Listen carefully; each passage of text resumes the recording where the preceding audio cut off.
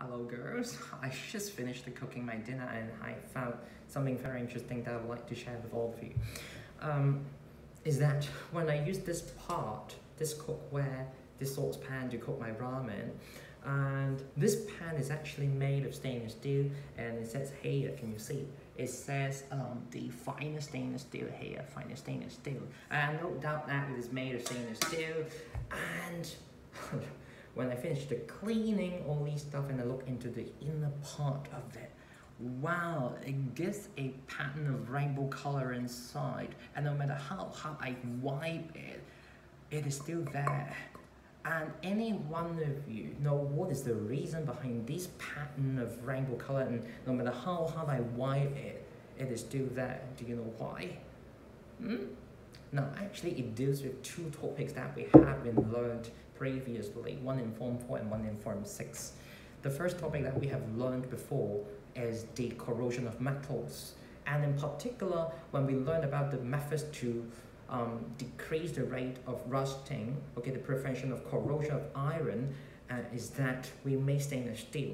Now, stainless steel make use of the alloy of iron, okay, make use of the alloy. Alloy, of course, is a mixture that helps the iron from um, prevention of rusting and mixed with a certain percentage amount of the carbon, um, chromium, nickel, manganese, these kind of elements into it so that it helps in forming a corrosion resistant oxide layer alright and I have been using this part for more than 10 years and of course inside it actually got 11% of the chromium in it to help it from not being rust.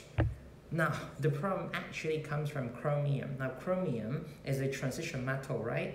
And we have learned this in the patterns of the chemical world in form 6 and in the microscopic world 3 what we have learned is that many of these transition metal actually they got multiple oxidation state right?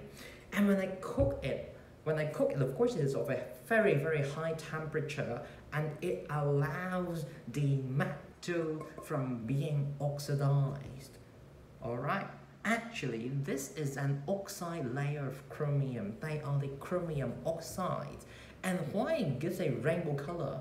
For those categories you might have already knew the answer it is because they are in multiple different oxidation states.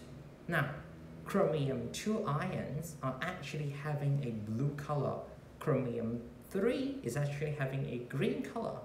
And finally, chromium 6 is having a yellow or orange color depending on whether it's a CrO4 2 minus or Cr2O7 2 minus. So that's why, if you look very carefully, you can see these three colors in it. Orange outside might be of the plus 6 oxidation state, and the inner part, some green might be of plus 3, and finally in the in, inner part here, some blue might be um, in plus 2 oxidation state. And that's why it shows the different colored ion of the transition metals, alright, from the chromium after being strongly heated Okay, so how can I remove it? Any girls can tell me how can I remove this oxide layer when you know that it is chromium oxides, huh? Okay, it is by adding some of the common chemicals in our kitchen.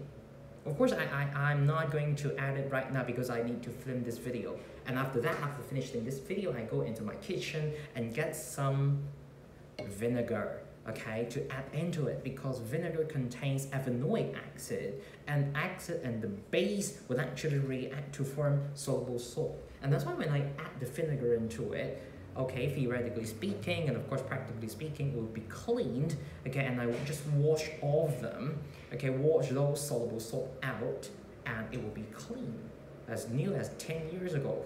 All right, is it good? Okay so I need to go in some kitchen and some vinegar and then do my cleaning. Okay hope you enjoyed this, this video. Have a very nice day. Bye bye